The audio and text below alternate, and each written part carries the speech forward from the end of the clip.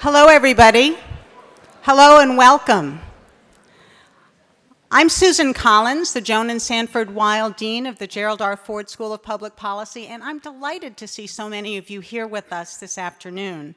Um, it's a great pleasure to welcome you here on behalf of both the Ford School and our co-sponsor, the International Policy Center. And it is a great honor for us to have the internationally renowned development economist with us, Jeffrey Sachs, who is here to deliver our 2010 Citigroup Foundation Lecture. The Citigroup Foundation Lecture Series is made possible from a gift from the foundation several years ago in honor of President Gerald R. Ford, our school's namesake and one of the university's most distinguished alumni. We're very grateful to the foundation for its generous gift, which has enabled us to bring so many distinguished policy leaders and thinkers to campus. And it is especially a great personal pleasure for me to welcome our speaker, Jeff Sachs, here with us today.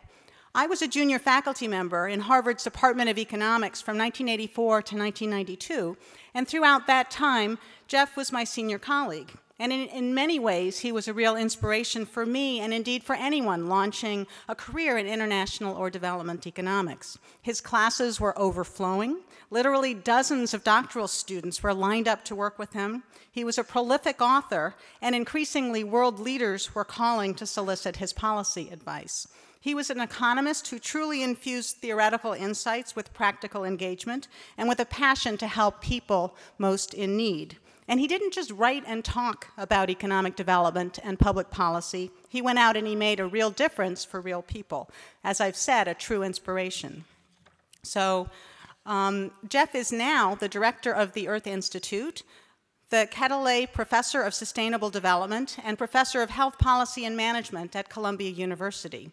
He's Special Advisor to the United Nations Secretary General Ban Ki-moon and President and co-founder of the Millennium Promise Alliance, a nonprofit organization aimed at, at ending extreme global poverty. Please join me in welcoming Jeff Sachs to the podium. Jeff?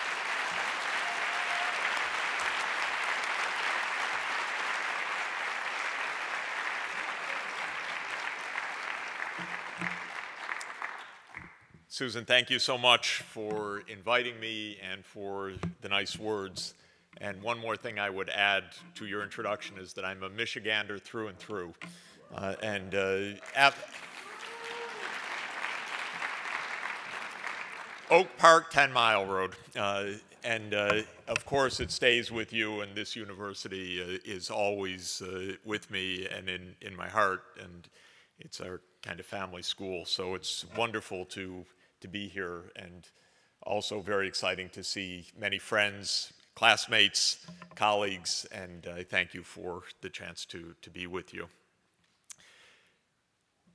It's interesting today that we're uh, starting uh, what should be a crucial global meeting, but is relegated uh, to the back pages of the newspaper. I'm referring to Cancun, which is the meeting of the international signatories of the UN Framework Convention on Climate Change. It's the 16th such meeting since the Framework Convention went into uh, application, went into force in 1994.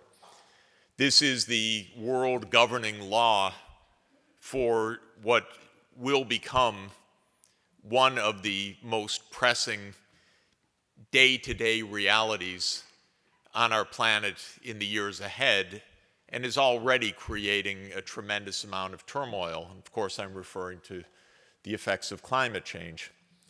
And yet, how puzzling it is that, as important as this issue is, the only time it really has gotten notice in the United States in recent months is to defeat some of the congressmen who voted for doing something about it and almost all who were in Democrats in uh, marginal districts who voted for uh, the uh, legislation that passed the House a couple of years ago to cap carbon emissions were defeated in the November elections. And the politics was uh, already nearly impossible on this issue in the United States, but without question, November has made it uh, even that much harder. And I'll show you in a, in a few minutes uh, some of the most recent survey data about the rather shocking uh, American attitudes to this issue, which can best be described as, uh, as a lot of confusion. So we are starting a global meeting with almost no prospects of anything important coming out of it.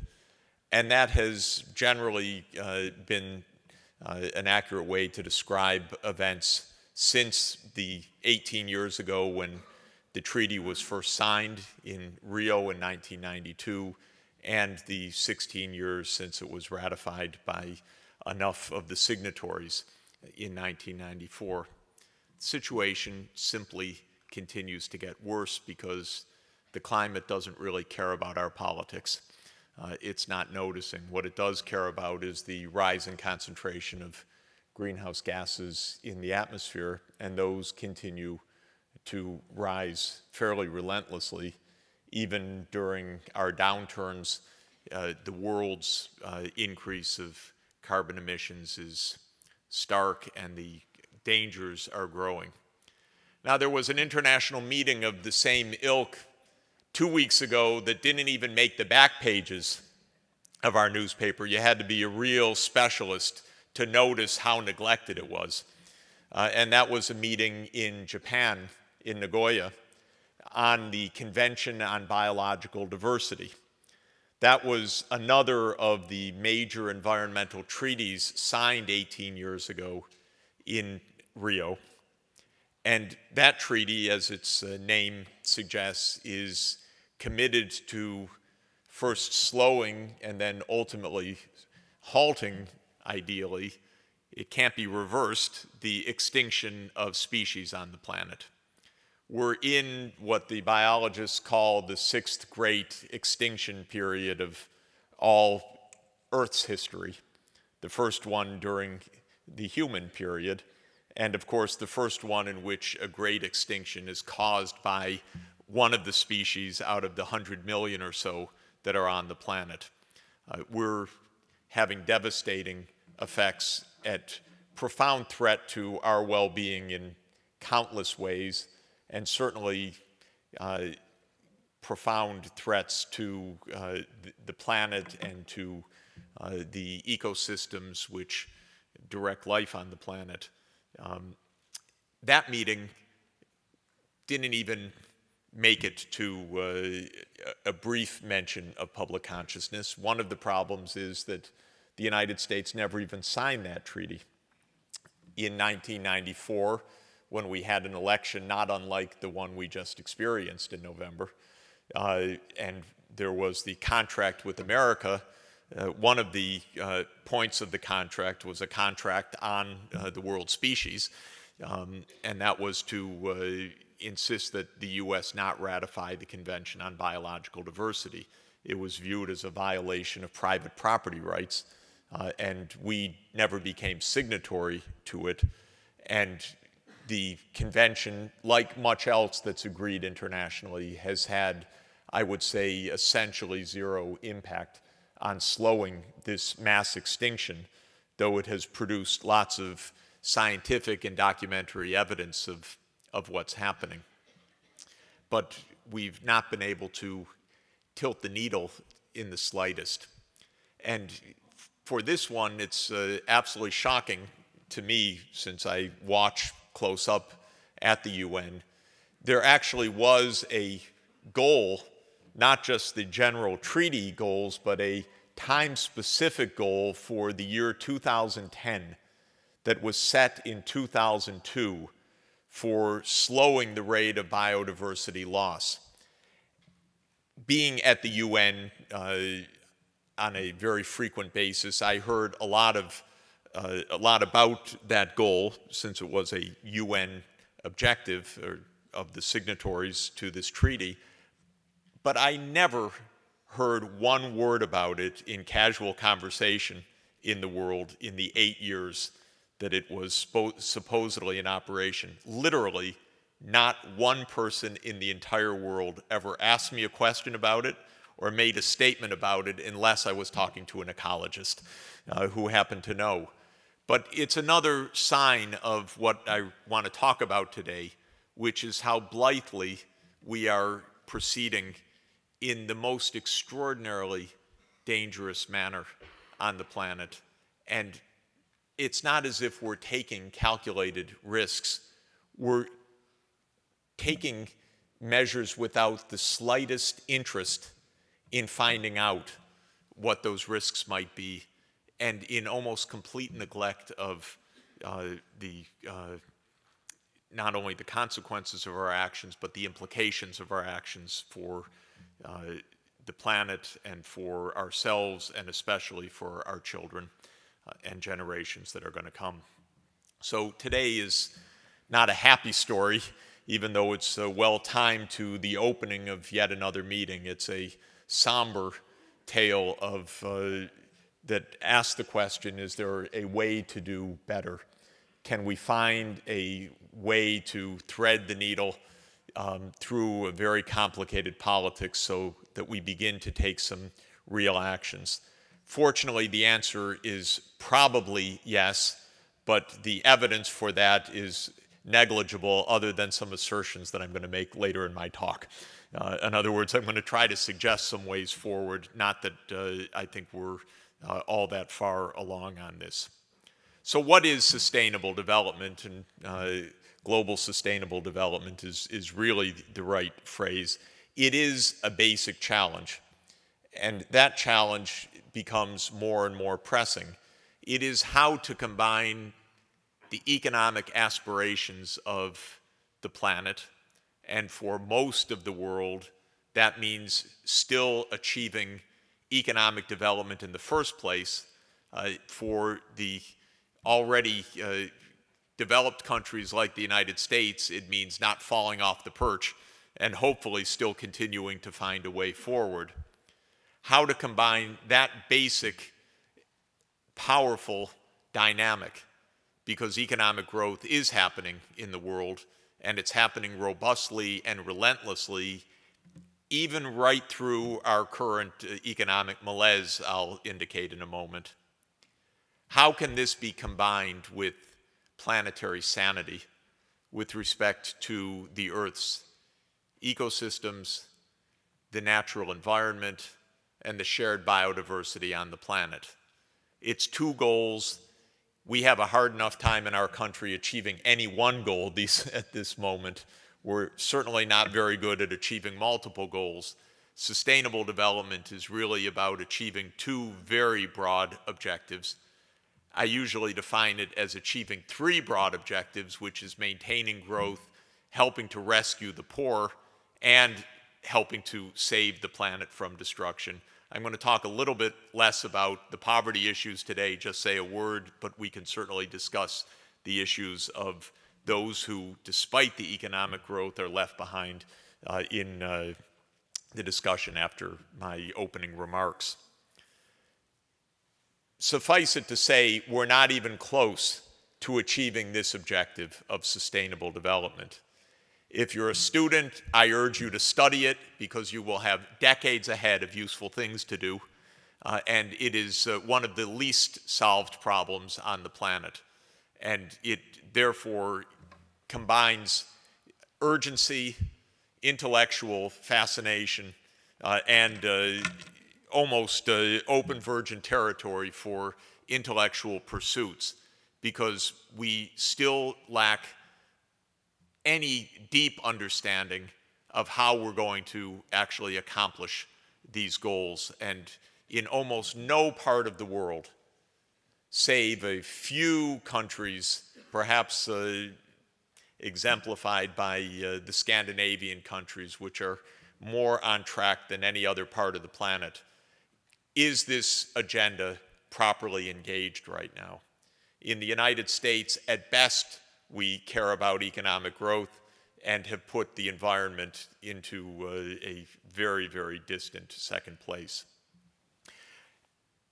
this uh, picture is uh, the template from an important article that appeared in 2009 in Nature magazine, where a group of about 25 of the world's leading ecologists got together in an expert review of the evidence to consider the environmental boundaries or thresholds that pose the greatest dangers for humanity and to try to begin to assess, because it was their very frank uh, acknowledgement that this was only an initial foray into defining what boundaries might be for these various uh, ecosystem threats. And if you go around the circle, though it's probably hard to see in, in the room, certainly in the back, these are issues like climate change, which is the one that I'll focus on today, ocean acidification, which is another crucial and independent result of the carbon emissions from fossil fuel burning. It is the fact that with the rising carbon dioxide concentrations in the atmosphere, the carbon dioxide dissolves in the ocean and is already acidifying the ocean with tremendous risk to the marine ecosystems and especially to all of the marine species with exoskeletons and, and uh, the diatoms that are part of the food chain. Going around the circle uh, clockwise from uh, 12 uh, noon, uh, which is climate change, then ocean acidification, there's ozone depletion, uh, which you're aware of and is one of the few areas where real progress was made because that was a case where one specific human technology, chlorofluorocarbons were the predominant or maybe the exclusive cause of the human-made or anthropogenic ozone depletion and where it was possible to find a safe substitute. And so it was a rather straightforward technical substitution of one set of chemicals for another, which over the long term will actually reverse the ozone depletion that was very far underway by the 1970s when this result was first discovered. Incidentally, and I'll allude to it later on, when the ozone depletion effect was first known, the companies that were producing the chlorofluorocarbons, of course, went to town calling it a hoax, a fraud, a myth, and every conceivable thing that they could call it, exactly what they do with human induced climate change today. And then one of their scientists uh, tugged on the CEO's uh, uh, sleeve and said, by the way, we have a substitute. At which point they came out and said, now everybody has to adopt solutions. This is very important. Uh, yes, and so forth. So, so much is driven by, uh, by the corporate uh, propaganda. And that was definitely one of the clearest examples of that, going from delay and obfuscation to a quick solution once a technical uh, means was found, and then the, those who had the technology in hand could argue for uh, the solution. Still moving uh, clockwise, uh, the next category that you see in bright red, because it really is a drama already, is nitrogen flux. We have 7 billion people on the planet. This is 10 times more than when Thomas Malthus wrote pessimistically about the principles of population in 1798, two centuries ago, at which point there were about 750 million people on the planet. Malthus said we wouldn't be able to support uh, a rise of population or an increase of living standards because any increase of living standards would quickly get dissipated by higher population, but that would be limited by food productivity. We broke through the food constraint, certainly far from perfectly, even in nutrition for feeding 7 million people, 7 billion people. But we actually did not break through the environmental constraint, though we think we have. Because in order to produce enough food for 7 billion people, we have to put on about 150 million tons of chemical fertilizer every year, roughly 100 million metric tons of nitrogen every year. And that massive deposition of nitrogen is one of the most destructive human induced changes on the planet. As I'm sure most of you are aware, we have a 200 mile long dead zone in the Gulf of Mexico. As the Mississippi River accumulates, the runoff of that nitrogen, the leaching from all of the farmlands of 25 to 30 states in the Midwest, carries it down to the Gulf and creates the eutrophication phenomenon, the hypoxia, and the dead zone. It's now been realized that about 130 estuaries around the world are similarly turning hypoxic, short of oxygen because of eutrophication. And we're seeing, therefore, one of the most important ecosystems in the world, the estuar estuarine ecosystem, which mixes the fresh water and, and uh, the seawater uh, at, the, uh, uh, at, at, the outlets of uh, freshwater rivers around the world being destroyed. Nobody has an answer to this right now, incidentally, just to cheer you up. Organic farming doesn't change any of the nitrogen budget, it just changes where you get the nitrogen from. There are certainly ways to use nitrogen more efficiently, but the basic fact of feeding 7 billion people is a very tough nut to crack. And in this sense, while we are feeding adequately, maybe not adequately, but feeding systematically roughly six of the seven billion people, and the other billion are struggling every day to have enough to survive. We're not doing it in an environmentally sustainable manner, and so far there are no adequate solutions to that. Right next to it is the phosphorus cycle, which we're similarly deranging because it's nitrogen, phosphorus, and potassium, which are the three macronutrients that have to be added through chemical uh, and organic fertilizers. Moving right along, and I uh, won't belabor uh, all the point, is the fresh water crisis, the changes of land use, the next, next bright red cone uh, that you see is the biodiversity loss, where there is a fulminant and almost entirely neglected disaster underway. It makes sense if there's 7 billion of us on the planet and we're eating and we're clearing farmland and pasture land to do it, we are commandeering literally the land and the food supply that would feed the other species on the planet. And the best estimates, which I still find uh, shocking to, to contemplate is that our one species commandeers about 40 to 50 percent of the total net primary productivity of photosynthesis on the planet. That's a lot. We're taking almost half of the total photosynthetic potential of the planet for us. We're doing it through pasture lands that we cleared for our meat production. We're doing it by the croplands, obviously, uh, to grow. We're doing it by uh, through the asphalt surfaces uh, that uh, build our cities. Uh, and in total, we're literally pushing the other species not only out of their habitats, but uh, right out of, out of existence.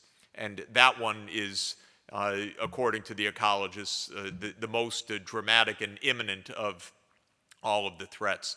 The next one, now we're roughly at 9 o'clock, between 9 and 10, uh, is the atmospheric aerosol loadings. That's the soot and the, the dark carbon cloud over much of Asia.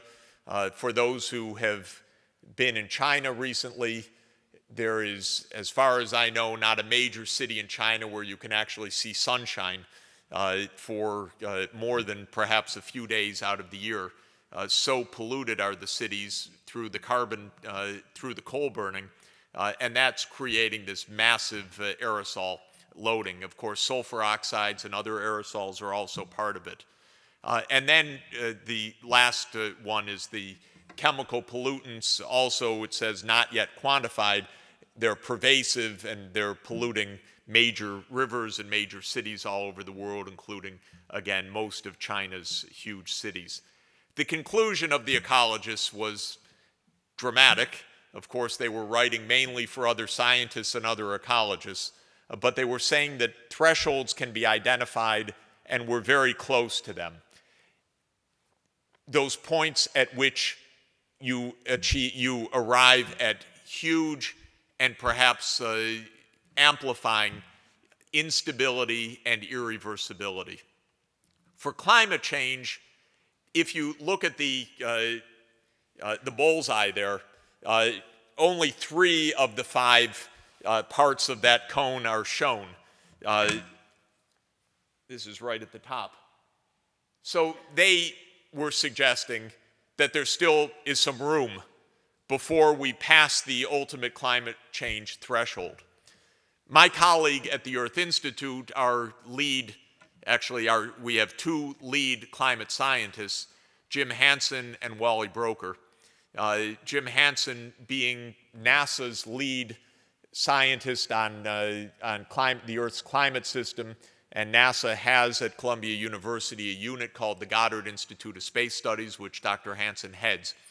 Hansen, through reliance not only on the formal modeling and the uh, satellite evidence that he and his colleagues have developed, but also extraordinary work in reading the paleoclimate record, looking at how carbon dioxide has been associated with temperatures millions of years ago by looking at various isotopic signatures of temperature and carbon concentrations, has made a very strong assertion that we're past the threshold.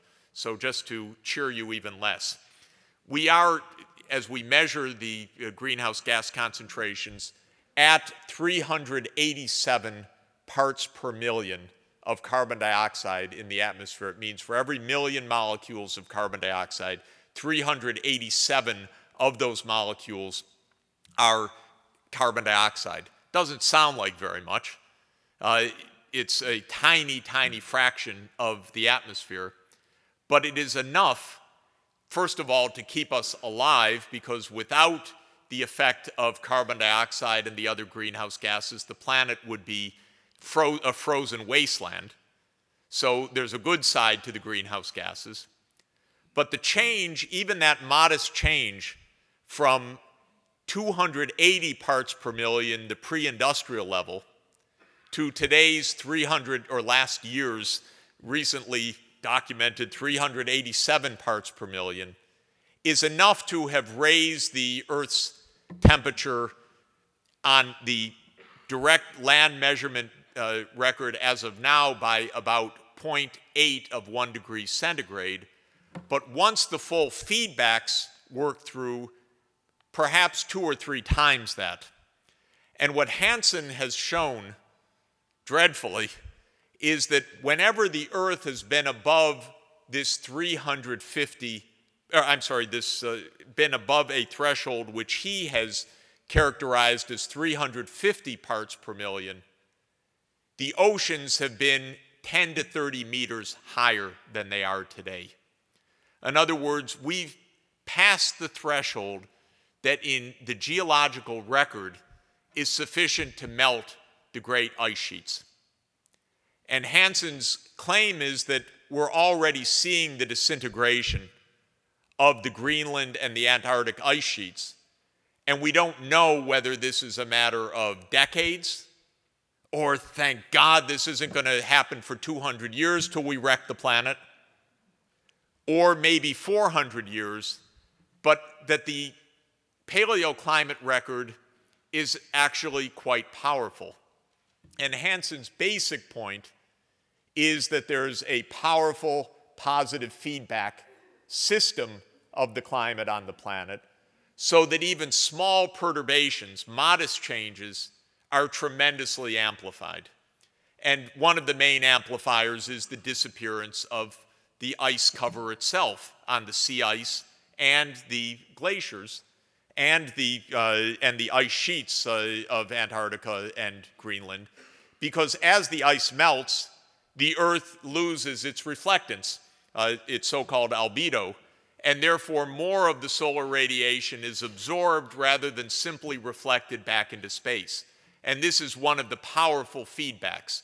There are probably many others including the ocean's degassing of carbon dioxide as they warm, kind of as you warm your Coca Cola, the, the bubbles come out, and the permafrost uh, under the, uh, the uh, Siberian tundra, for example, releasing methane as it warms from the uh, peat that is then exposed.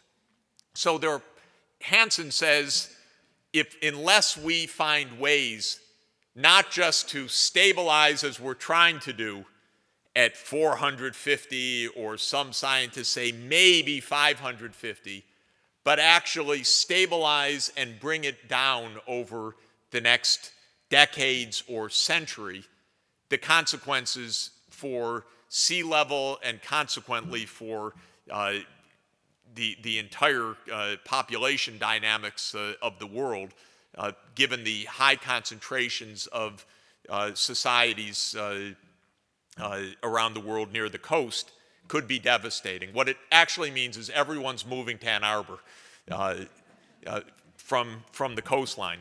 So save a place for your neighbors. millions are going to have to move in soon.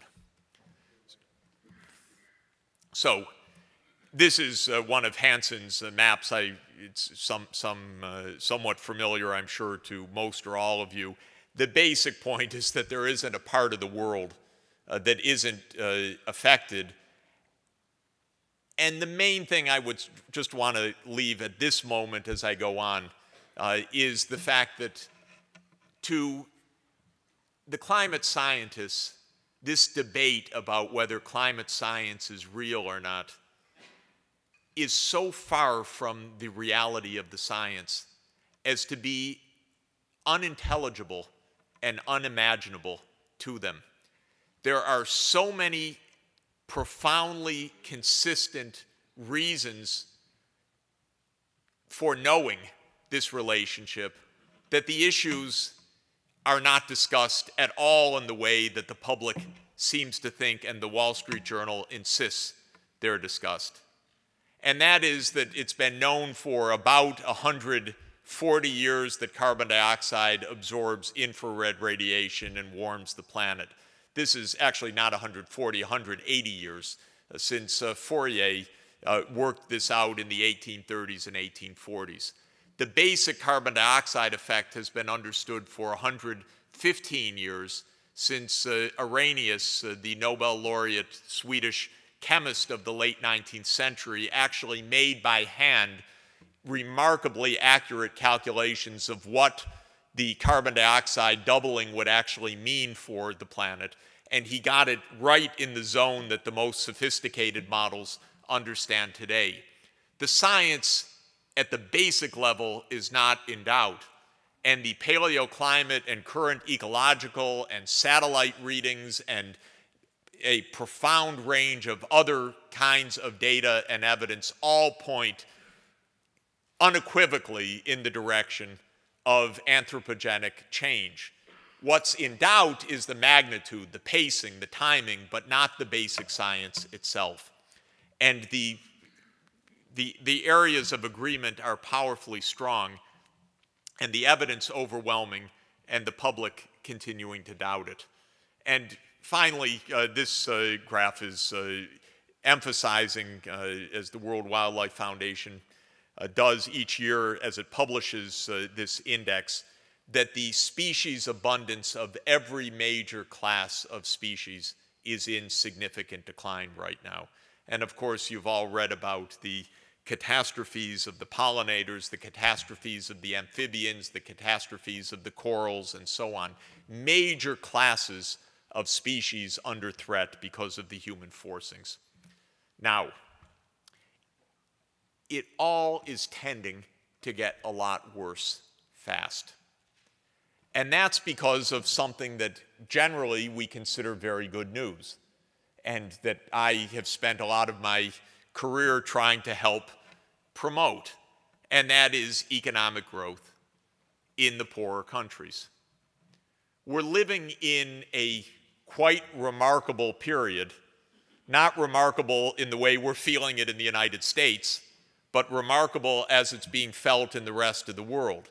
The rest of the world outside of Europe and the United States has no idea there's an economic crisis right now, except by hearing the speeches of uh, the U.S. president or uh, a uh, or, or uh, the prime minister of, of Greece or, or of Ireland. Because in the rest of the world, economic growth is robust and at historic highs. And that's actually true now, even in more and more of the poorest places in the world.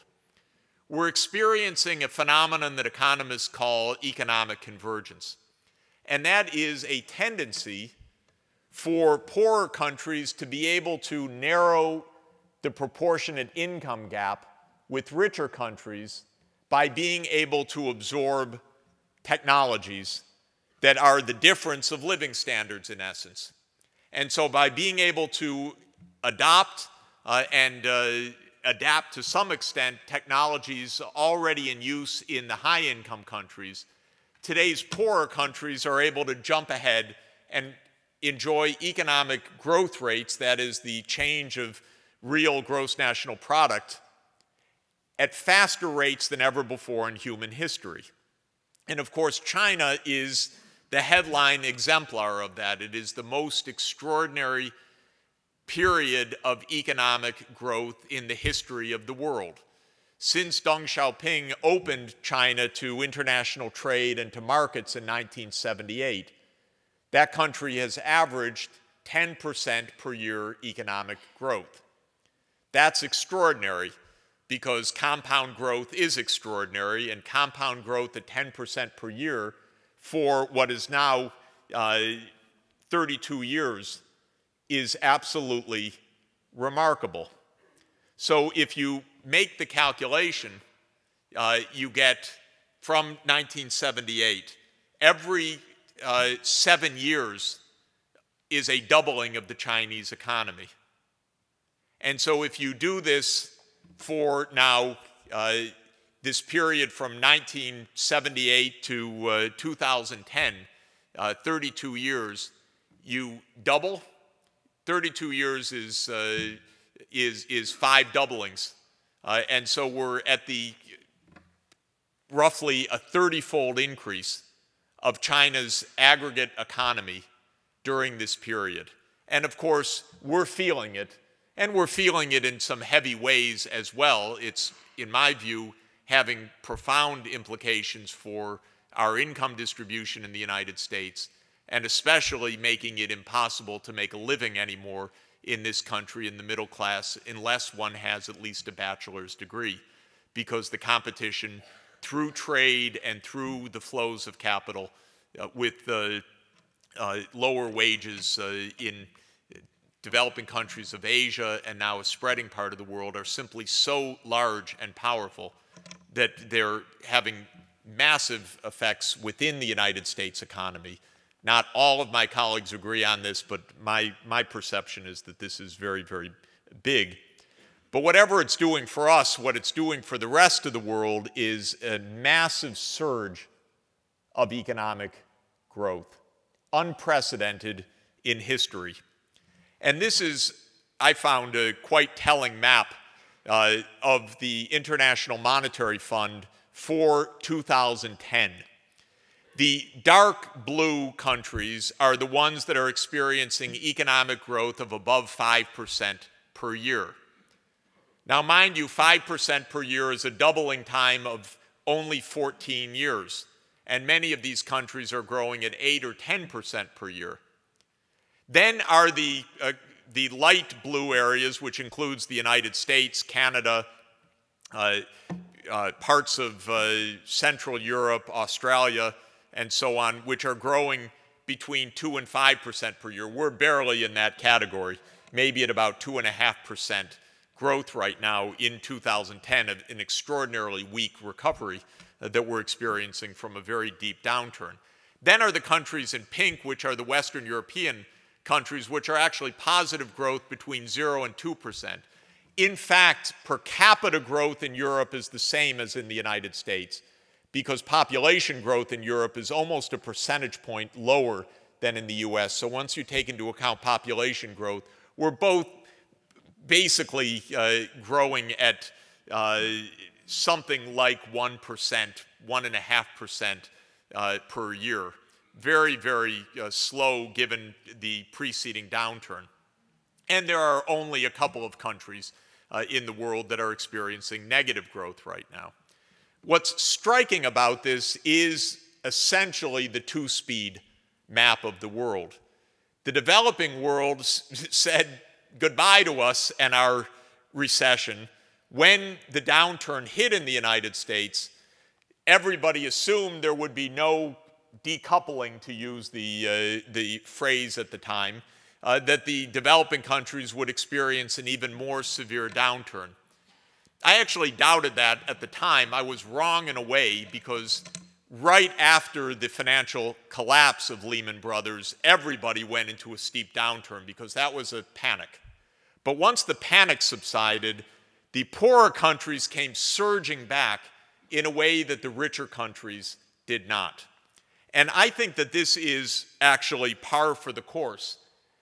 If you look at the annual growth rates, the green at the top here is the so called emerging and developing economies. And they're growing now at, oh, 6%, 7% per year since the beginning of the past decade. The developed countries, which means the United States, Western Europe, Japan, and a handful of others, not only had the very deep downturn, minus three in 2009, but the recovery is very modest, and the spread is about four or five percentage points per year right now. In my view, that is a structural gap, not a temporary gap. The structural gap is essentially the convergence process. It might not remain so large, but I think that it is fairly safe to say that unless the world falls apart in one way or another, the poorer countries have a fairly wide running room of rapid growth because they're much poorer than the rich countries. Their average income is perhaps a tenth of the income of the rich world, and that means there's a lot to grow into by absorbing the higher uh, productivity technologies of the rich economies. And that's what's giving this fuel of growth. Without question, the most uh, dramatic example of that convergence these days is mobile telephony and wireless broadband, which has reached every impoverished village in the world just about by now. There are around 6 billion mobile subscribers. Five years ago in Africa, where we were working on projects in about a dozen uh, villages in a dozen countries in Africa, nobody had a phone.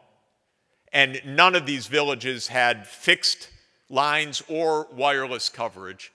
As of today, every one of them has wireless coverage. And it's typical in an extremely impoverished place that maybe 20% of the households would actually have a phone. And there are many aspects to that. The ingenuity of being able to sell phone by the seconds uh, so that you prepay and are able to buy tiny bits have brought this technology in a very ingenious way to the poorest people of the world.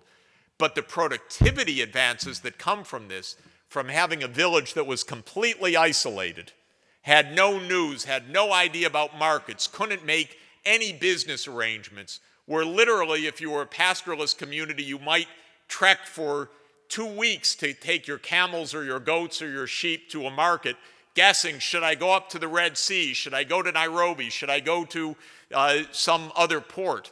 And you'd get there and not know, and now you flip out the phone, as the pastoralists are doing all over East Africa and they're calling their markets and finding out what to do, and they're doing their banking online as well. Well, this is a great thing. It is a fuel, obviously, for economic development. But it's also a problem when you come back to sustainable development. Roughly put, think about it this way there are 7 billion people on the planet right now, 6.9, but who's counting? Uh, and the average income is about $10,000 per person using what economists call a purchasing power adjusted standard, where you adjust each country's income level according to their specific average price level. you add up the incomes across the world, it comes out to around 70, uh, billion, $70 trillion. Uh, $10,000 on average per person, and uh, 7 billion people. Suppose that the whole world just caught up to the rich world income. So the rich world's at $40,000 per capita on average. The world average is 10,000. If there were complete convergence, that would mean a fourfold increase of economic activity on the planet. That's what convergence has potentially to close.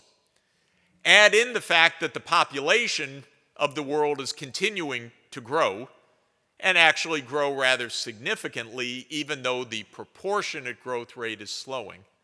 We're still adding 75 to 80 million people net population increase each year, though now all in the poorer countries. You combine this force of convergence with the extra roughly 40% increase of the world's population that demographers are guessing could be the level at which the world population stabilizes as fertility rates come down to replacement. In other words, stabilization at around 9 billion as opposed to today's 7 billion. Combine those two forces and you see that we have built into the global dynamics right now an increase of total economic activity over the course of a century, say, that could amount to five or sixfold increase.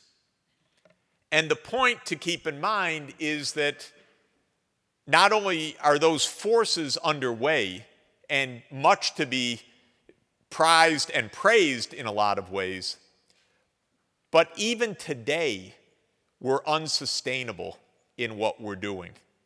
So there's a collision, at least if we continue to do things the way we're doing them now.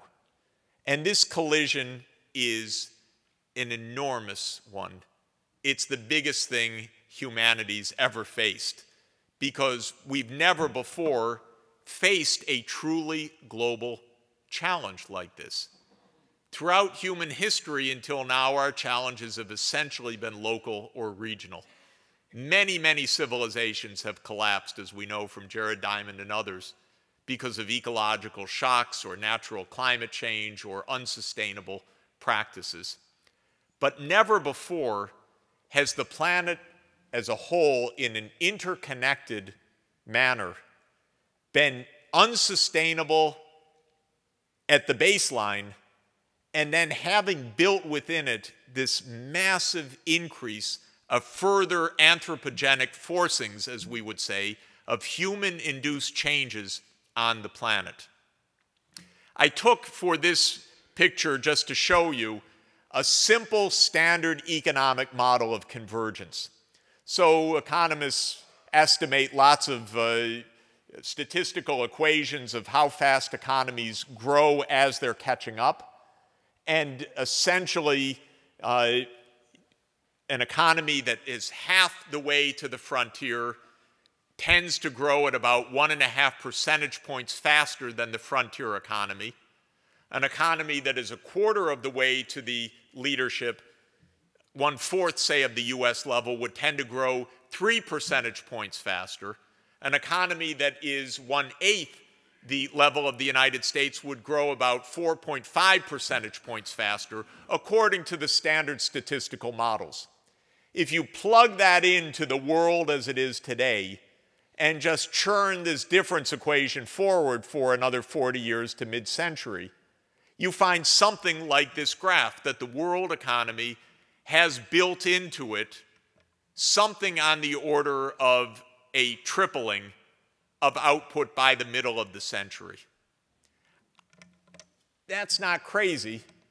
That's pretty plausible because it's implying a growth rate of the developing countries of today of something close to 5% per year. They're actually achieving even higher than that. So this is not a wild forecast. It's a, even a little bit cautious, one would say. except that it can't happen on our current technological trajectory. Something would have to give because what's not built into the economist standard model are the environmental implications of all of this growth. When I studied macroeconomics in 1972 for the first time and learned the canonical growth model that we're all weaned on, written by Robert Solow uh, in 1956, and which brought him his well deserved Nobel Prize. That model says that economic output depends on human labor and on uh, capital stock and on any technology that we come up with. And the technology is uh, just assumed to uh, somehow descend upon uh, our uh, fertile minds, uh, and the capital and the labor are more under our control.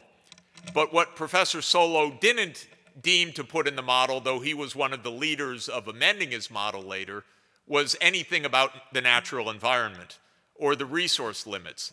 And the reason is that, as he always emphasized, you make strategic assumptions as an economist to simplify your models to get to points that are important. And as of 1956, these boundary conditions of the environment weren't important. And Solow chose right. He got a one uh, a first order differential equation. Thank goodness. So all his students for four generations to follow could solve it. And we all felt excited and good about that. And it inspired us to become economists. But the fact of the matter is that if you were writing a growth model today, you could never or should never dream of putting on paper such a model because now the boundary constraints are not second order concerns, they're not footnotes for com completeness. They are going to be the essential question for humanity, even if Fox News and Wall Street Journal and all the rest of our media haven't figured it out yet. That's deeply embedded in the realities of population, convergent economic growth, and ecosystem realities. And the only question is how and when we catch up to this basic reality. One of the things it will mean, of course, is that the United States, which has had a very unusual run of things, of course, especially becoming by far the predominant economy of the 20th century, after two world wars not fought on our soil, uh, and with, by virtue of uh, mass immigration of, uh, of genius, uh, partly as a result of those wars, and our own uh, cleverness uh, and uh, bounty of natural resources, we became, for our, we don't know whether it's our Andy Warholian 15 minutes of uh, historic fame or not, we became the world's leading economy. But what we can say pretty clearly is that that lead is shrinking already right now in relative terms because leadership is a relative phenomenon. It doesn't mean we have to suffer. It does mean that our star in the sky won't shine quite as bright in the presence of other stars in the sky. And as everybody has come to appreciate, China will become a larger economy than the United States within the next 20 years. Not higher per capita income, but given a four time larger population, a larger overall economy. And that is affecting every bit of geopolitics. Every single country I've been in, uh, well, I don't know if that's true, but almost every, and I would, that's dozens, by the way. Uh, but in the last dozen countries that I visited in the last five days, it feels like, but uh, in, in, the last uh, three or four months, I've heard the same line. Oh, by the way, China just became our largest trading partner. This is amazing when you hear it in Santiago in Chile, for example, when you hear it all through Africa. In Asia, you'd expect it, but it's a worldwide phenomenon. And this, of course, is part of uh, geopolitics, but it also should be informing us in a little bit more clever way about how we engage in the world right now.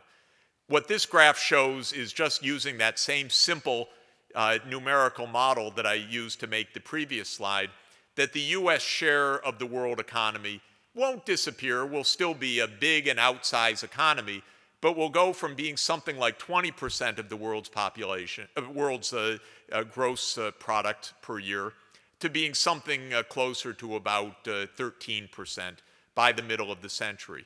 Not precipitous unless we collapse, but definitely a decline. The red line on the top, the red curve, is the share of the developing countries in the world. Right now, they're about half of the world economy. The US, Europe, Japan, that's about half.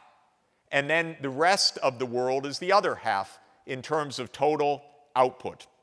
Now, that means that the rich world on average is still six, eight times richer uh, than, uh, than the poor by these metrics because uh, the uh, income level of the developing countries uh, in this categorization, which is the IMF's, the developing countries have a population of 6 billion and the rich world 1 billion.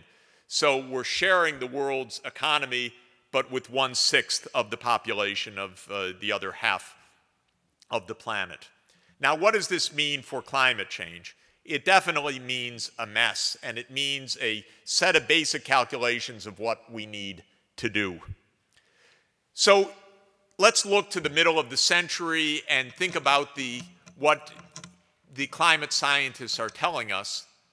Now, according to Jim Hansen, he's telling us it's finished. Uh, we're already in disaster.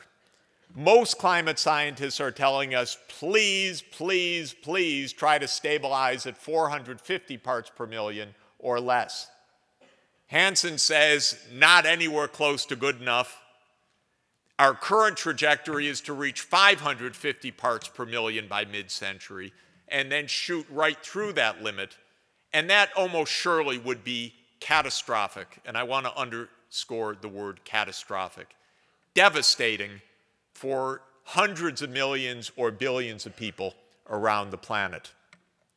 So, what the cent central view of this is, is that at a minimum, we have to cut by half the world's emissions of greenhouse gases by the middle of the century compared to where we are today. That's tough we're emitting 30 billion tons of carbon dioxide each year through energy use, and another few billion tons through deforestation each year. That energy led carbon emission should come down to perhaps 15 billion tons at the most. But that has to be done in the context of a burgeoning world economy. That's the challenge. It's an unprecedented challenge. If we need, or if the developing countries are counting on three times the world's output through their rapid growth, emissions should be half of today, then emissions per unit of GNP which is pretty constant around the world, by the way, because we all use basically the same technologies. So the emissions per unit of GNP is pretty much shared. That would have to come down to around a sixth of what it is right now. We'd have to be able to get our carbon dioxide emissions down to one sixth per dollar of our income if the world is to have a chance of getting on a trajectory that isn't going to blow the whole world out of the water, or into the water, I should say. And that means reducing something like uh, 83% of our emissions intensity by 2050. Now, how could this conceivably be done? Obviously, there are lots of mixes and matches, and Larry Burns, uh, your professor here and a colleague of mine uh, in a program at the Earth Institute as well, we're discussing some of those options and playing with some of the numbers to try to see how this can possibly match. But one way, for example, would be a combination of energy efficiency combined with decarbonization of the energy system. And in some sense, both of these are vital. We have to get more output per unit of energy input, and we know there's lots of waste. As Larry uh, has emphasized so often, only 1%, if I have it right, of the energy that's used in an automobile actually is literally doing the work to carry the individual from one place to the next. Much of it is purely lost in, in uh, heat dissipation, and a lot of it is carrying the uh, other 3,000 pounds around that are accompanying us on our personal mobility. And so there's lots of room for saving energy through smarter vehicles, for example. And of course, through uh, better design of homes and through smarter grids and so on. So one possibility is reducing the energy input per unit of output, but it's not so easy because the physicists are absolutely right, dead on. You need energy to do work, and you need work to make income, and you need uh, income to uh, have uh, the kind of living standards that the world aspires to. So the other part of this is to find ways to decarbonize the energy supply. Now, what might be done in the US context? How could this actually be accomplished? I'll use round numbers. We have 6 billion tons of carbon emissions in the world. Note that that is one fifth of the world's total emissions of 30 billion tons. So GT, if, for any of those who can see the, the graph, is gigatons, 30 billion tons of CO2 that are emitted by the burning of coal, oil, and natural gas. The US is 6 of 30. We're a fifth. Now, mind you, we are 5% of the world's population emitting 20% of the world's emissions, so we're four times the average per capita emissions on the planet. Of those emissions from fossil fuel use, oil, gas, and coal all play their important role. Coal's about 2.1 billion tons, oil 2.5 billion tons, natural gas 1.4 billion tons of emissions. Now, what we could expect economically is that the US economy will roughly double in size between now and 2050. That's taking as given some slowing down of our underlying growth rate to a pure per capita growth of about 1% per year, which I think is a realistic assumption, plus a population growth that will take us uh, to, uh, by mid century, to, I don't remember the number exactly, so don't hold me to it, but so, somewhere uh, uh, probably close to about 350 million Americans compared to 310 million today. So if our GNP or gross domestic product doubles and we are able to double our energy efficiency, as a rough measure, we could say that perhaps we can get by with the current amount of energy use. That's probably the case if we make a huge effort at energy efficiency. We can't save energy net, most likely, compared to today in a growing economy at this rate, but we could probably hold the line. That's not good enough, though, if we're going to reduce emissions. That would just stabilize emissions. For that, we have to change the way we use energy and roughly get to one third of the carbon emissions per unit of energy that we have now. That is not an easy thing to do. But that's the scale of the challenge, and this kind of scale of challenge is what every country in the world faces. You can see why it's so easy to throw up your hands and say, forget it. Let someone else worry about it, because it is not easy at all to accomplish this. Can it be done? Well, if you look at the proportions of our energy use right now, about 40% of our total primary energy comes from petroleum. That's our oil import dependence. Another quarter roughly comes from coal, almost all domestic. Another quarter from gas. And then roughly one seventh from renewables or, or nuclear. So it's a hydro, nuclear, a little bit of biomass, and so forth. We'd have to change the mix and change how we use the energy in order to be able to get to a reduction to one third of, uh, of our current emissions. Now, part of the mix can be changed, if possible, by moving from coal to natural gas. Natural gas, as you know, burns cleaner. Coal is essentially all carbon with a, a little bit of hydrogen attached, whereas natural gas is a carbon with four atoms of hydrogen attached. When methane or natural gas is combusted, you get water and carbon dioxide as part of your energy mix. When coal is combusted, you just get the carbon dioxide.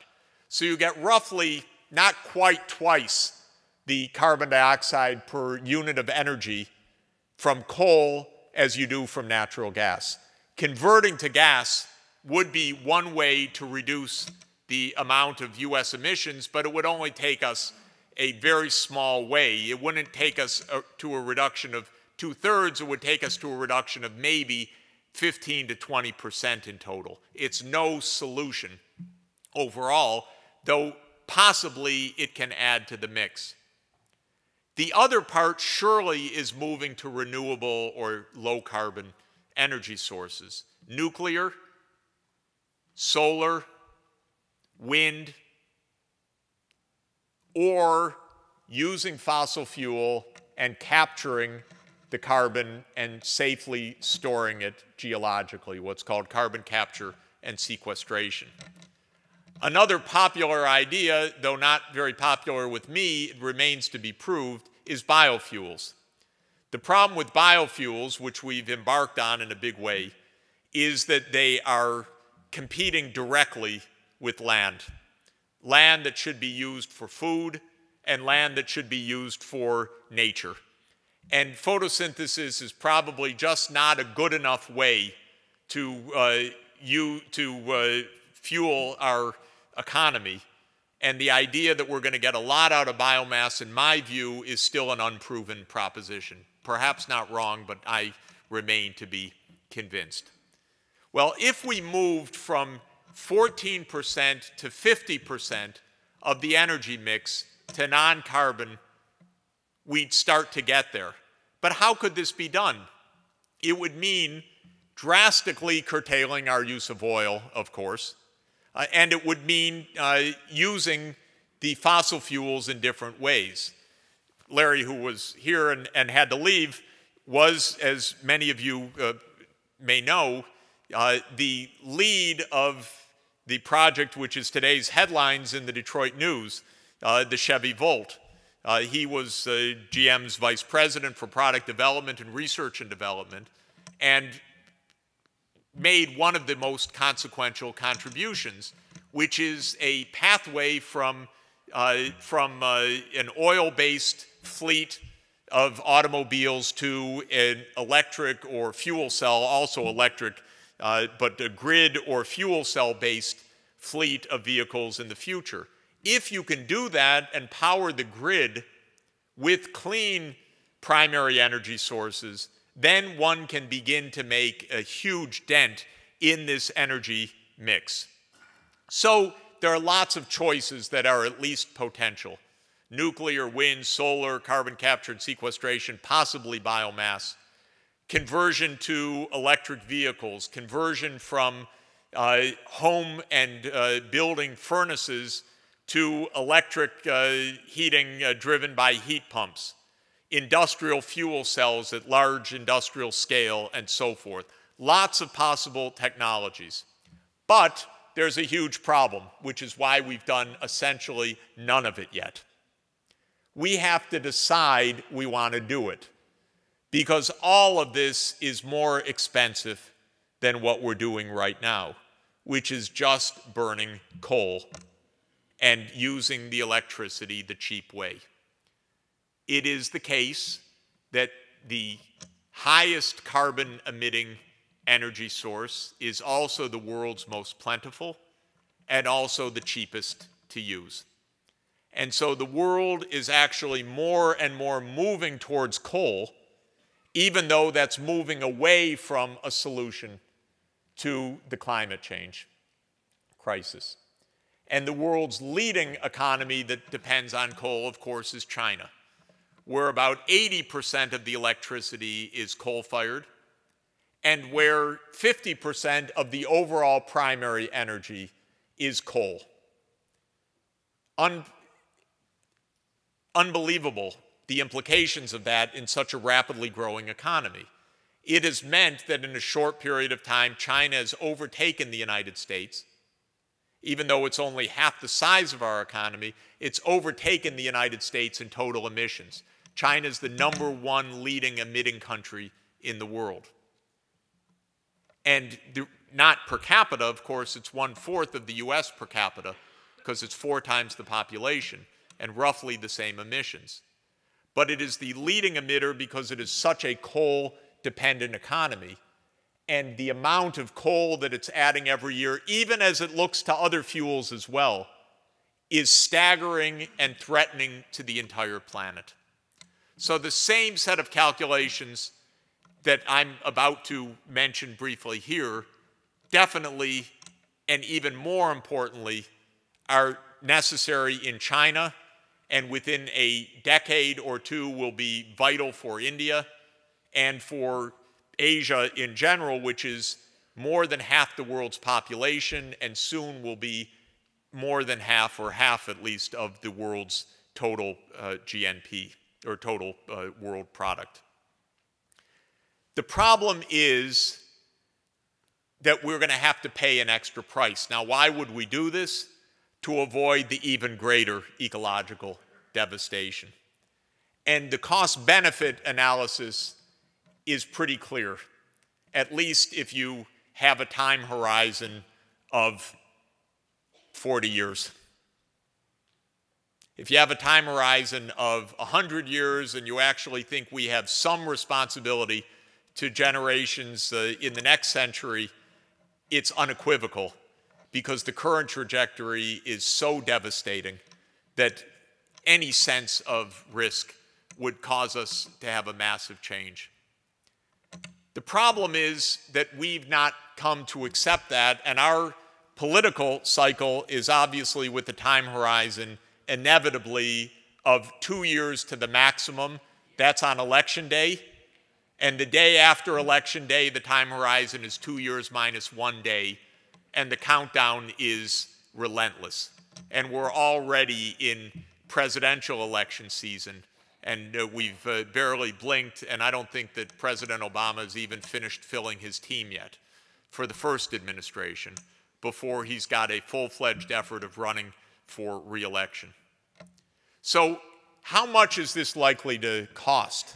Here, some basic uh, calculations suggest the following, and I think this is really the, the, the main point.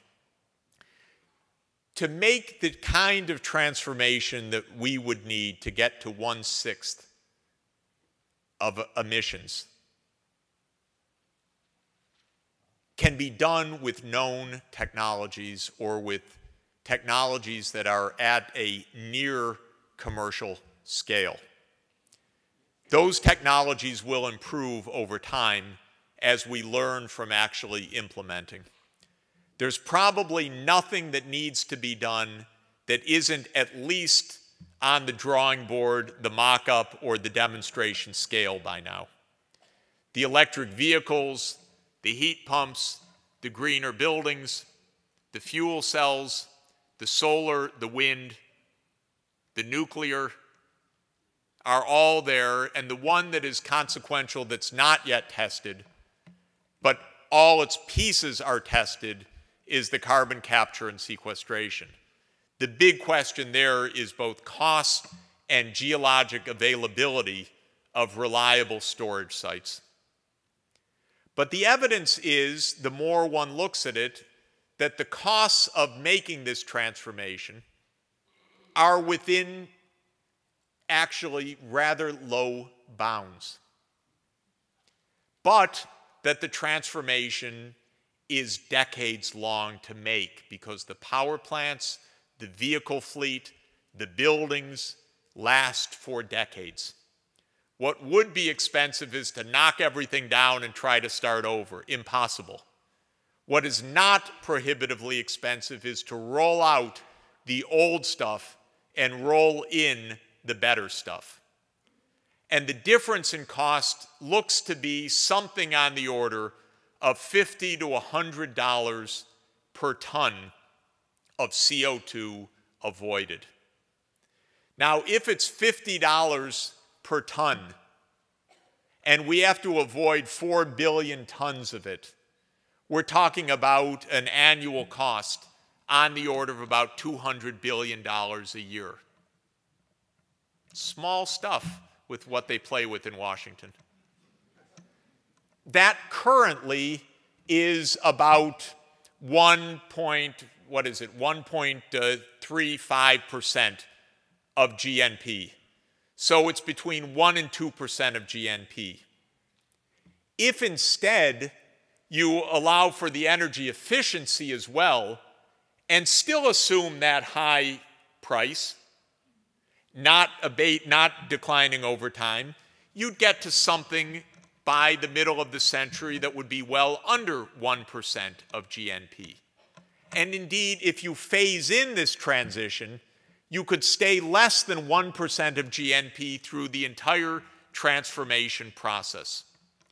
And this, I think, really is the bottom line of the reality. We can lose the planet because we don't want to do this, or we can decide to invest something a little bit less than 1% of our income each year.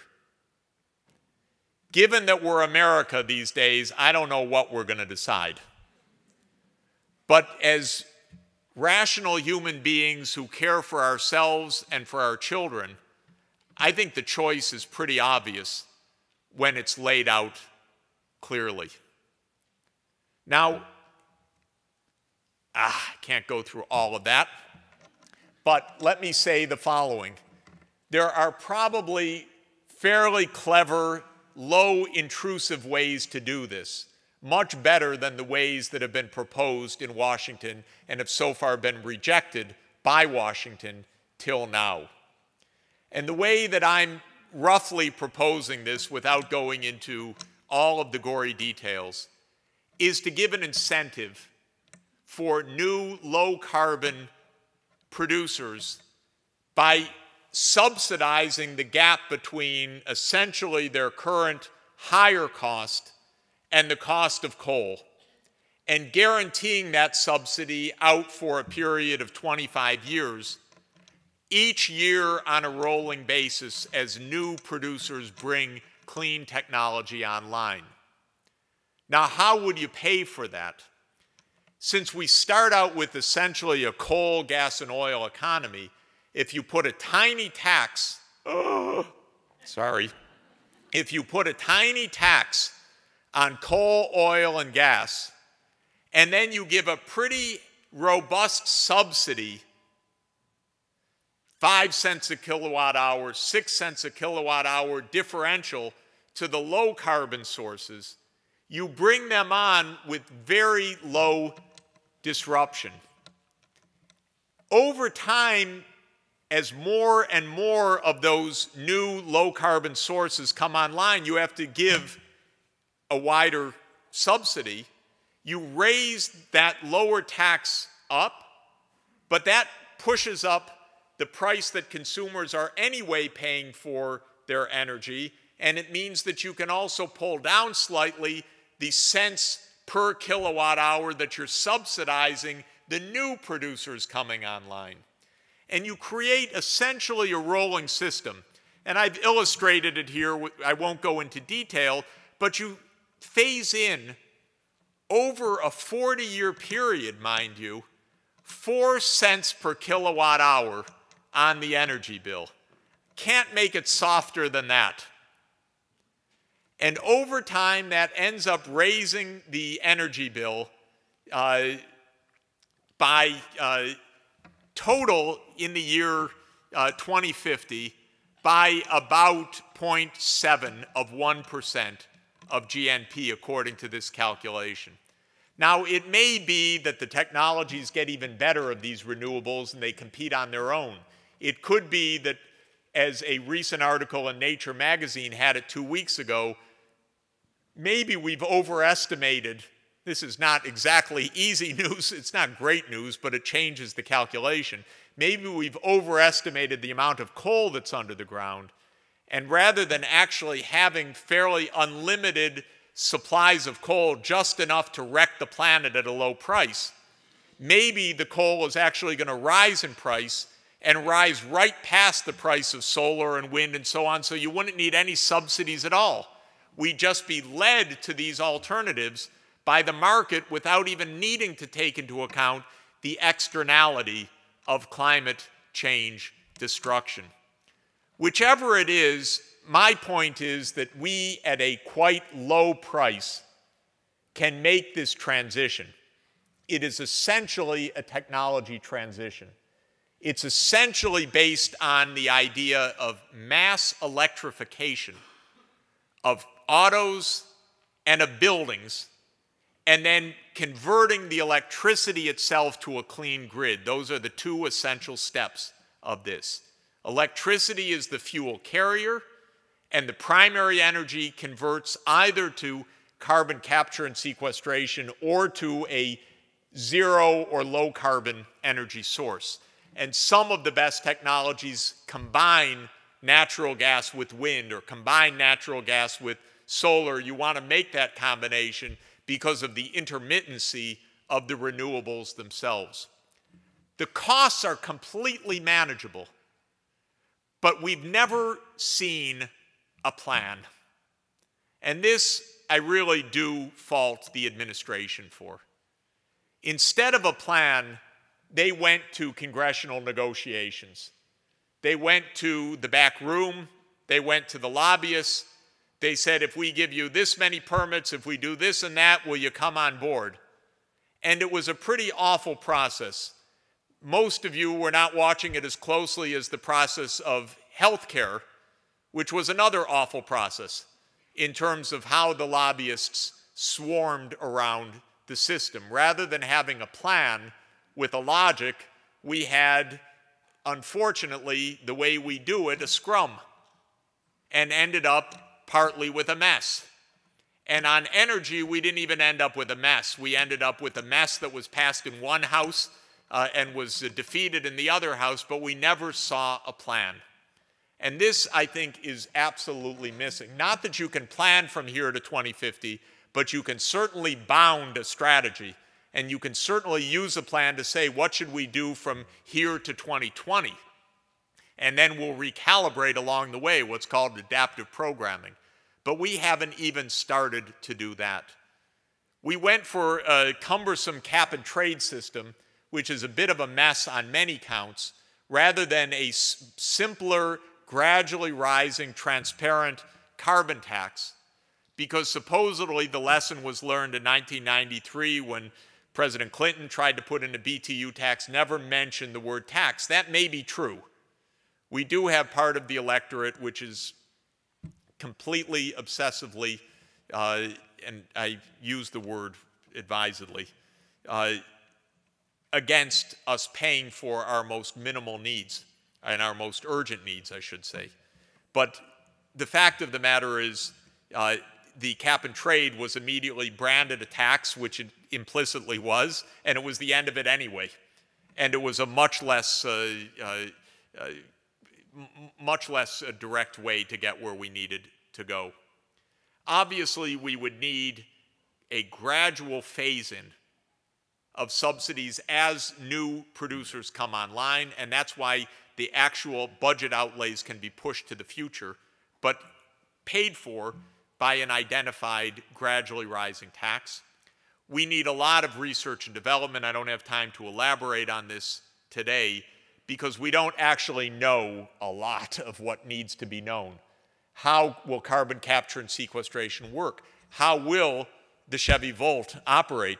How will batteries improve in the future? How can a national grid be properly and robustly managed when it relies on not the base load of coal, but a much higher proportion of wind and solar and other intermittent, uh, other intermittent sources. I'm told by all of my engineering colleagues that we just don't know the answers to these things. They are knowable, but they're not known. And we're certainly going to need a broad mix of technologies. Anyone that rules out a major category probably has to think again. Sad to say, we're going to need nuclear, and it's sad to say because it's a big problem in this world. Uh, and the risks of example proliferation politics are real. But it is also a low carbon energy source that dozens of countries will use uh, for their electricity, and that the United States is going to need and, and continue to use. And we're probably going to need carbon capture and sequestration, clean coal, and other of those tag words. Now, there's another fight brewing, which is uh, about the natural gas deposits and the hydrofracking, so called, uh, of uh, blasting out of the shale rock of the Marcellus uh, shale underneath uh, New York and Pennsylvania, massive deposits, whether this can be done ecologically uh, soundly or not. Nothing is assured in any of this. Everything has to be done adaptively. The only thing that unfortunately is assured is that the current course is a course of disaster and a disaster that's already underway. We start today in Cancun. There will be no agreement. Maybe next year. But it's a very odd process it's basically the wrong people at the negotiating table. It's very nice diplomats. I love diplomats. When they're good, they keep us out of war. But they are not good engineers. They don't design systems. They certainly don't design physical and technological systems. They don't understand the economics, and they don't know how to get us started. And unfortunately, these negotiations have kept the business sector away and kept the analytical and the academic sector away. And so we don't have negotiations over the things that we need to be negotiating on. I think the kind of framework that I very loosely sketched of how to converge in 2050 to a one-sixth uh, emission standard is actually a basis for discussion a kind of convergence of technologies. And I think that China and India and other low income countries right now accept the fact that they want to converge on incomes and that they would also have to converge on technological standards. And how to do that and who to pay for some of the extra costs are valid issues of negotiation. But focusing on how to make that convergence process work, I believe, is the right way to negotiate, but we're not there yet at all. And we've simply not cast these negotiations in the context of technology. Now, finally, let me turn back to us here. These are the numbers from the most recent Pew Center survey on American attitudes towards climate change. They're horrifying. What's happening to us? We're a weird place. We're in a complete anti science rant right now. And it's getting worse. Since climate change has been big news uh, in the recent years, the numbers of people who believe that there's evidence for it has fallen sharply down from 50% who believed that there is human-induced climate change in the 19, 2000, uh, sorry, 2006 poll to just 34% last month. So well over half of the American people either believe this is a natural process for which the scientists have looked up and down at changes of uh, solar radiation uh, and uh, every other kind of process uh, that could conceivably be part of this can't find those fingerprints. or that it's not happening at all. In the lower left hand uh, part of the chart, you see the answers by political party. Only 16% of Republican respondents said that there's human induced climate change. We're in an, ex an extraordinary moment when a really life and death issue for the planet has become a completely partisan issue as well. And where beliefs on the basic facts are so profoundly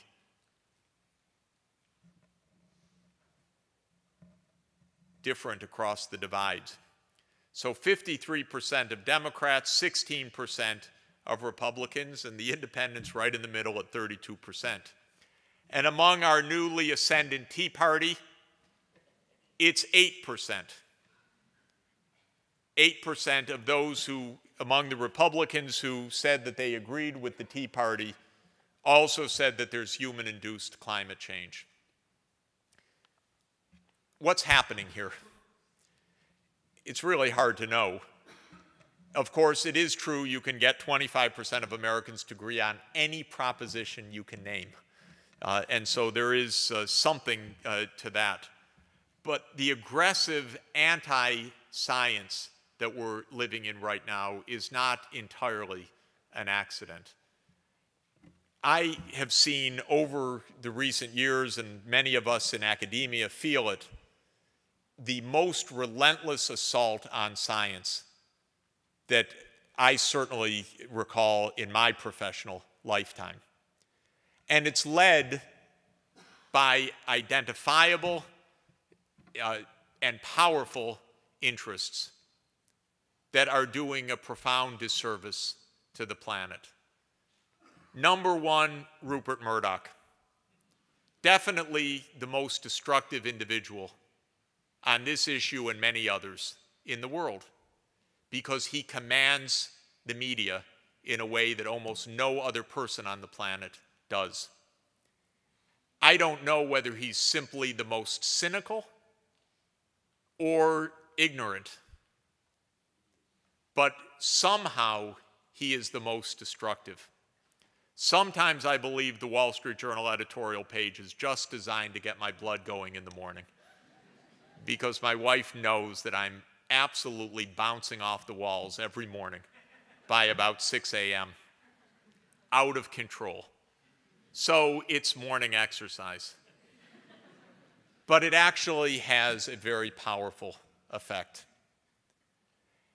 David Koch, who some of you may have read about in the New Yorker earlier this year, the owner of, the, of America's largest uh, largest uh, um, privately owned oil and gas company, Koch Industries. Big philanthropist in New York. You go to Lincoln Center, you go to Koch Theater. You go to the American Natural History Museum, you go to the Koch exhibition. More destruction of financing anti scientific propaganda than perhaps any other person other than Rupert Murdoch himself. And this stuff works in today's age. And we're facing something more than problems of communication, uh, more than problems of uh, what was called Climate Gate last year, of uh, injudicious uh, statements by a few climate scientists that I can assure you had absolutely zero to do with the climate science and with its uh, with its reliability, uh, its depth, its knowledge. But it was taken on as a massive campaign by the Wall Street Journal, who every day wrote the most vicious nonsense, saying that uh, not only was climate science wrong, but it was a deliberate global scientific hoax and fraud and conspiracy by all of those climate scientists looking to get rich on their government grants. And I kid you not. Uh, and as one who uh, tries to help keep these people uh, able to do their marvelous uh, research, they're not in it for the bucks, I can tell you. They are in it because they know that not only is the science uh, fascinating and deep, but the stakes could not be higher. And for us, ladies and gentlemen, the stakes that we have as citizens now to get our country reoriented in the right direction could also not be higher. Thank you very much.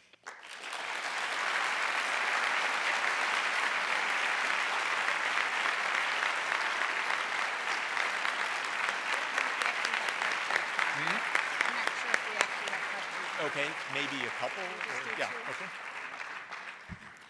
Thank you very much for um, both a sober and passionate um, assessment and a concrete policy analysis and proposal. Um, we are very short of time, but we are going to take just two questions, and I'm going to ask um, for one from each side. Uh, and if you could say the questions, and then we'll turn back to Jeff for a quick response, that would be great. So um, perhaps one on each side first. Here? Yeah, please. Please. Um, yes, hi, Jeff. Um, I'm Mary Albertson. I'm from Results Global Group in the area, and I want to thank you for your friendship and your support to Results. Um, what I wanted to ask you about was if you would please comment on the importance of investments like a global fund for education and why this is doable and needed even in this economy for educating the people. Great. Thank you. Thank you. Yeah, let's take one more. Yeah. Uh, thank you also for a lucid and enlightening talk. You've talked much about the quantitative needs for more energy to meet economic growth and human aspirations, primarily using the first law of thermodynamics that is talking about X number of kilowatt hours or BTUs to do that work. Yet, as we give up oil, natural gas, coal, we're going to energy that's much less intensive, uh, much less power packed than those fuels. We're going to the very gentle uh, harvesting of solar and wind and so on, which means that we're probably not only going to have to increase uh, our effort, but also change our lifestyles to solve problems that lower temperature energy sources can do, like living closer together, giving up the American dream of sprawl and living in cities where we can walk, use transit, and bicycle. You, could you comment on that? Sure.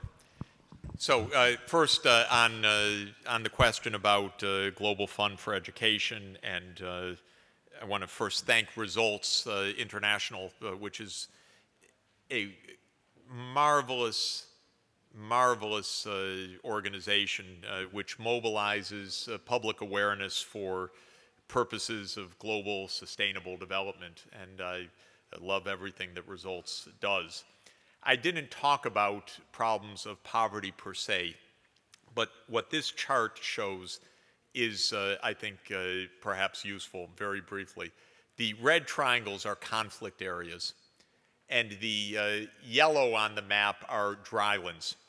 And what's happening, uh, point that I'm making, this is taken from uh, a book that I wrote a couple of years ago called Commonwealth, is that the ecological stresses of the poorest places, the drylands, are spilling over into massive conflict.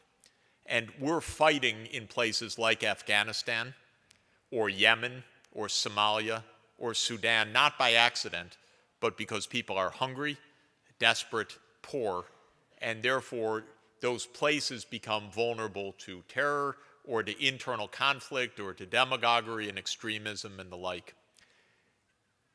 We are spending an unbelievable waste of our resources, fighting this condition through military means, which is useless. Because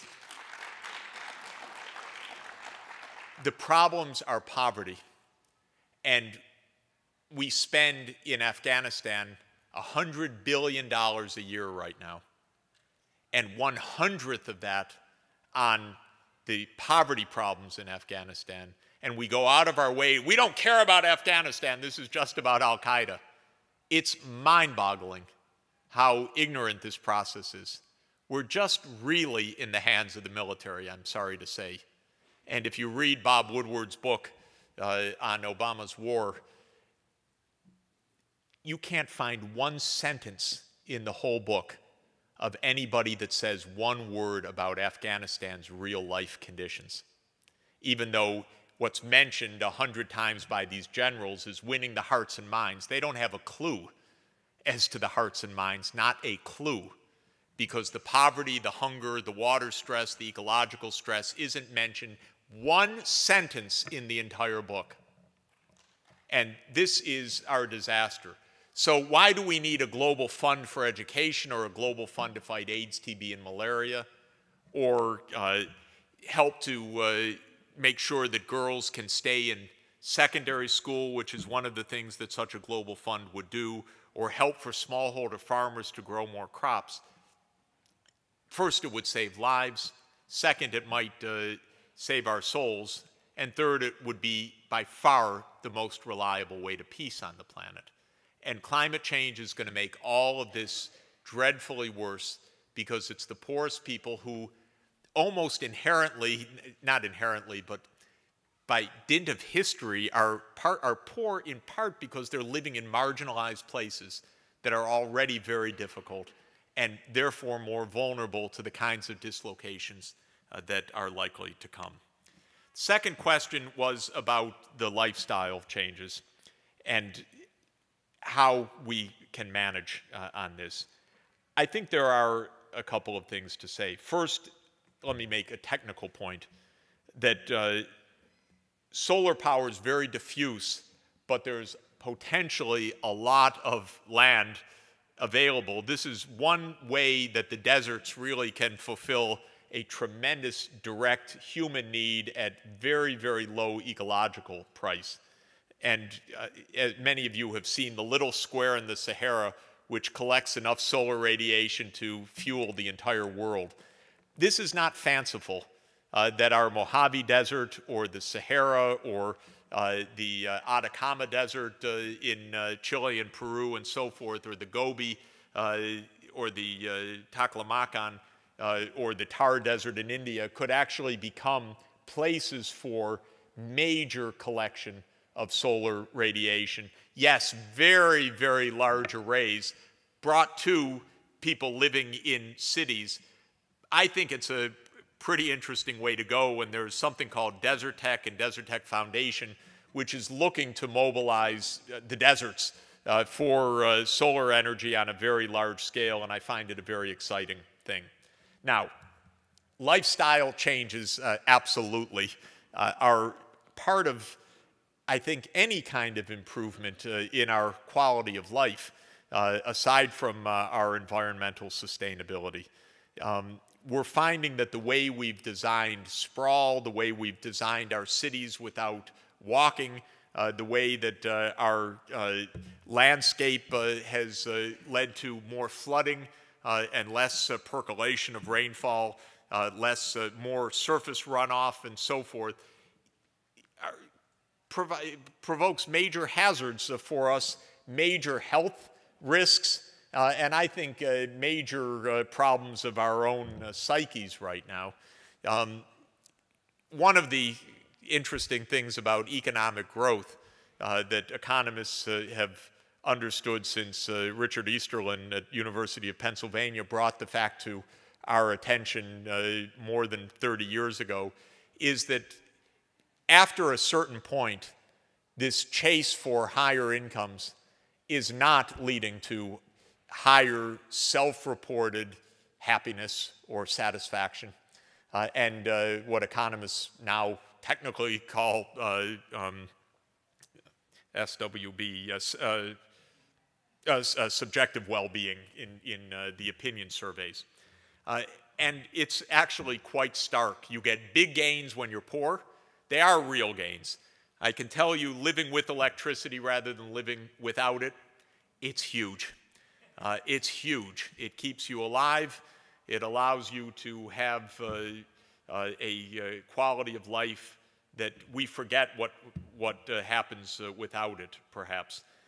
but after a point, and we've certainly reached the point that the statistics show, it's very hard to find much benefit directly from per capita income per se, as opposed to better health more longevity. But that's not necessarily coming from a higher GNP per capita. That's coming from a smarter lifestyle, a better way to live, walking rather than driving every place, and so on. And so I could only say amen in general that there are many things that cities uh, and dense settlements actually do very, very well. New York City's CO2 footprint per capita is one fourth of the national average. You can see why people walk, buildings, uh, your, your building heats the next building because uh, you're all interconnected down the, the long blocks of, uh, uh, uh of uh, the row houses or the, the brownstones. And it shows up very much in, in the results. So these kinds of changes, no doubt, are part of what I call the energy efficiency, getting more for less, and getting and being happier uh, as a result of it as well. And I think that there's a lot of that kind of learning and introspection to do. We are absolutely on what uh, the psychologists call the hedonic treadmill right now. We are running so fast, we're completely frenzied. And why we're doing it and what we think we're getting out of it really is a huge question, but a question for another lecture. Thanks.